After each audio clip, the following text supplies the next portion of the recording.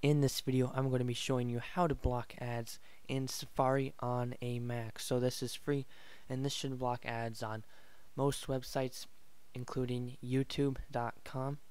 Um, this is for Safari only, not any apps. So anyway, let's get into it. Okay, so first of all, we'll get into Safari, obviously. Tap the, or click the Safari in the top left bar. Then you'll want to go down to Safari Extensions, click that. It'll bring up the App Store, and there's a page um, all about um, Safari extensions. So we're going to go to Top Free Apps. We're going to push See All. Um, scroll down to AdGuard for Safari. This is 4.6 star rated, has 5.4k ratings and reviews, and it is free. Push Get, Install, and then you may be required to put in a password or um, your fingerprint. I have also done other ways of blocking ads in Safari on a Mac. Uh, you can watch those videos. I'll um, put the videos in the end screen or something. But this is another method of blocking ads in Safari. You can also use AdBlock Plus. You can also use AdBlock by Betafish. There are so there are multiple options. Is the point. AdGuard will help you with blocking ads as well as privacy related things. It claims to be faster at loading pages and less traffic is consumed if you use this. So there are multiple good things about this extension, not just blocking ads. Okay, so now we have downloaded it. Now let's um, click open. And here it tells you what you need to do. So go to Safari and open preferences. The shortcut for that is the command comma function. So here it is, and you'll just want to check every single one.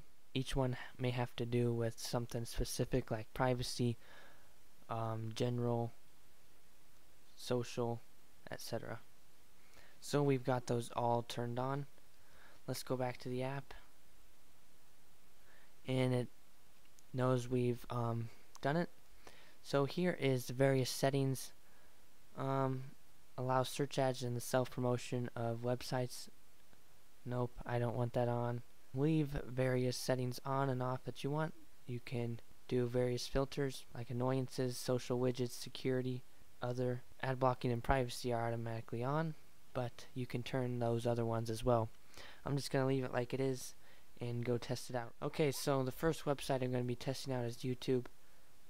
That is the most popular place to block ads and they let you do it. So, so over here is the button for AdGuard for Safari. If you click it, um, you can turn on AdGuard to change the settings.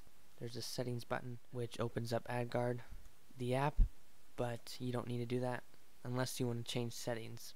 Let's try playing a random video. I'm going to be searching for soccer. Um, let's click this one.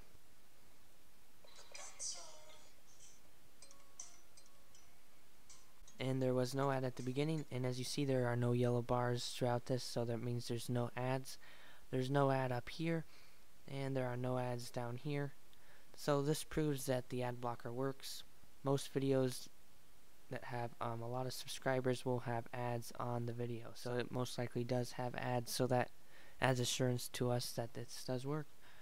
Um, let's try a news website. Let's go to The Verge. As you see there are no ads on this page.